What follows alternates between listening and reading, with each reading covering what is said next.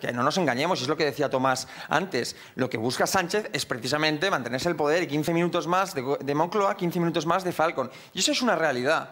Entonces, para seguir en el poder, el desmantelamiento del orden constitucional le da igual, pero si es que le da igual. Y lo que constata este pacto y estos indultos no es nada más que el abandono a una mitad de catalanes que se ha visto abandonada tanto por el gobierno de la nación como por el gobierno de la Generalitat de Cataluña. Es un doble abandono.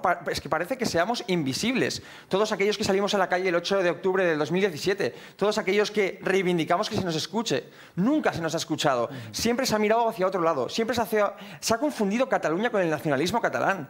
Que no es verdad, que eso no es la realidad de Cataluña y que hay que empezar a decirlo.